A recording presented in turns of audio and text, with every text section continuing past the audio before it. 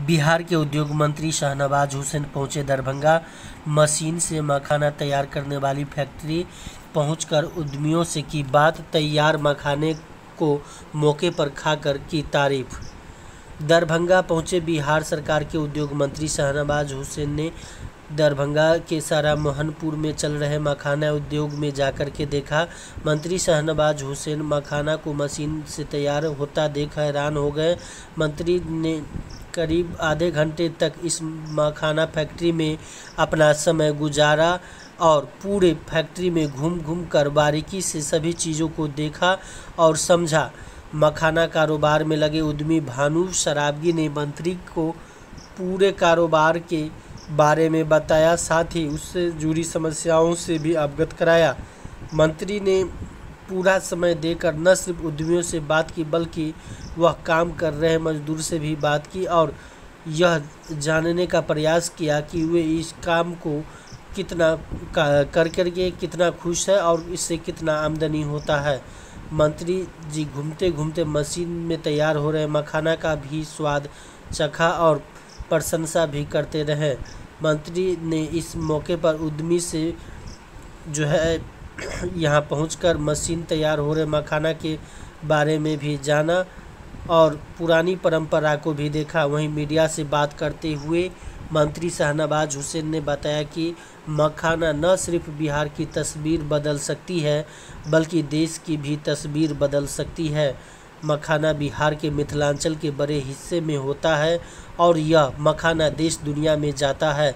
ऐसे में इसमें न सिर्फ़ रोज़गार के साधन है, बल्कि आमदनी का भी एक बड़ा ज़रिया है। वहीं मंत्री शाहनवाज हुसैन ने एक किलो उधारी मखाना लेकर चले गए और विधायक संजय सराबगी को इसका पैसा देने के लिए कह दिए।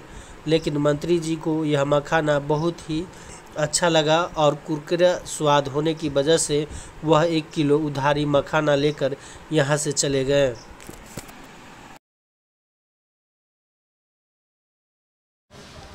ये तो मैंने खुद ही अमेज़ोन से ये खरीदवाया था। और मुझे खुशी हुई। मैं तो चाहता हूँ कि दरभंगा का प्रोडक्ट हवाई जहाज़ में भी कोई खोले तो मखायो खाए। और इसमें बहुत अच्छी बात यह है कि बिना फ्लेवर का भी है। कई लोगों को नमक ज़्यादा खाने से दिक्कत है, कई लोगों को फ्लेवर से दिक्कत है। एकदम शुद्ध है। सैकड़ों लोगों को रोज़गार मिल रहा है। अब जब यहाँ इनकी और मशीन आएगी, जिसके उद्घाटन के अवसर पर मैं आऊँगा, तब मैं कह सकूँगा कि पूरे इंडिया नहीं वर्ल्ड वाइड मखाना का जो सबसे बड़ा काम है वो दरभंगा की इस सरजमी से शुरू होगा। ऐसे भी दरभंगा में बहुत दम है।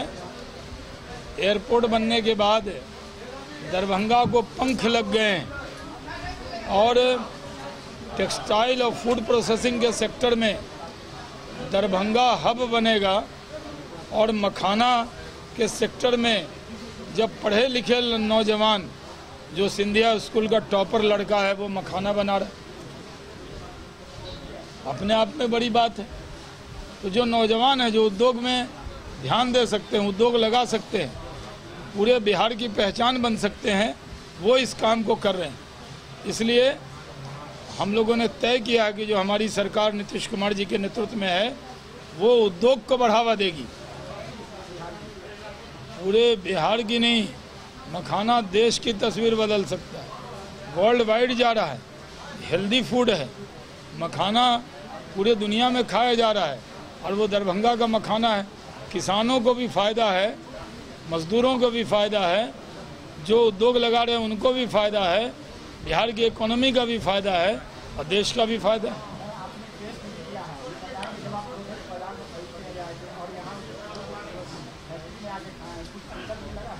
ताज़ा ताज़ा मिला है, एकदम तुरंत उठा के खाए हैं। थोड़ा विधायक जी लोगों को भी दिए हैं खाने को।